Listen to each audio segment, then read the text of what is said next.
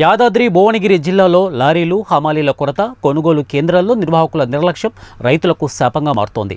రోజుల తరబడి ధాన్యం కొనుగోలు చేయకపోవడమే అకాల వర్షాలు కురుస్తుండడంతో తడిసిన ధాన్యం మొలకలు వస్తోంది. మరోవైపు తూకం వేసి ఎగుమతి చేయని ధాన్యం సైతం బస్తాల్లోనే మొలకెత్తుతోంది. యాదాద్రి భువనగిరి జిల్లా వ్యాప్తంగా రెండు వందల తొంభై రెండు ధాన్యం కొనుగోలు కేంద్రాలను ఏర్పాటు చేశారు. కానీ ధాన్యం కొనుగోలు మాత్రం ఆశించినంత జరగడం లేదు. జిల్లా అన్ని ధాన్యం కొనుగోలు కేంద్రాల్లో ధాన్యం నిల్వలు పేరుకుపోయాయని ఇటీవల కురుస్తున్న వర్షాలకు ధాన్యం ధాన్యం తడవడంతో మొలకలు వస్తోందని అంటున్నారు. తూకం వేసిన ధాన్యం కూడా మిల్లులకు తరలించడం లేదు. ధాన్యం మొలకలు వస్తున్న అధికారులు ఇటువైపు చూడటం లేదు. ఆరుగాలం శ్రమించి పండించిన పంట కండ్ల ముందే మొలకలు రావడంతో రైతులు తీవ్ర ఆందోళన చెందుతున్నారు.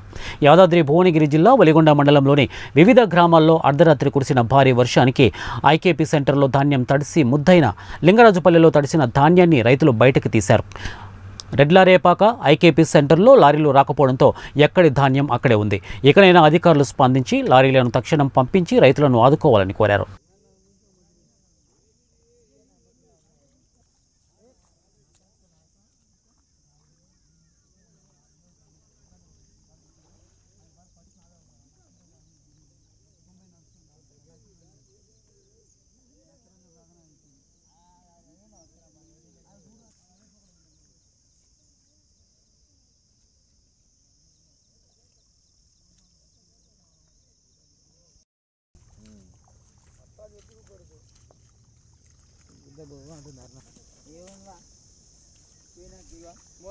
మార్కెట్లో మా పత్తి కిలో ఉంది అన్నీ వచ్చినాయి